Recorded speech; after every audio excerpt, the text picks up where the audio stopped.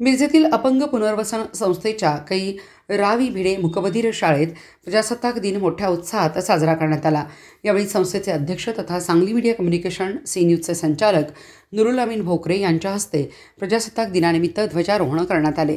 यावेळी मुकबधीर मुलांनी मानवंदना दिली आणि माजी सभापती निरंजन आवटी संदीप आवटी यांच्यासह शिक्षक विद्यार्थी उपस्थित होते.